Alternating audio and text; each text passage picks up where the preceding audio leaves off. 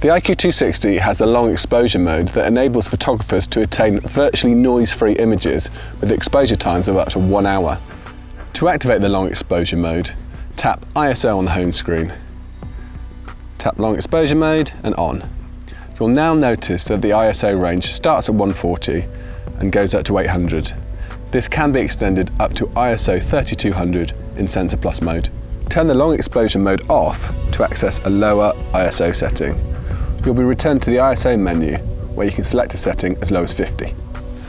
When the mode is off, the IQ260 will automatically display a dialog box that suggests turning the mode back on when using exposure times longer than 10 seconds. This mode is straightforward to use, but before you get started, it's worth taking a few simple steps to ensure you get the best results possible. Firstly, close the eyepiece shutter after you've framed the shot to stop any stray light from entering the viewfinder.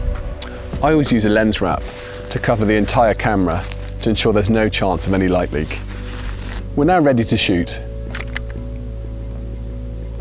And finally, remember when you shoot a long exposure, the digital back will make a black calibration as soon as the capture is finished. This will be the same duration as the exposure time itself.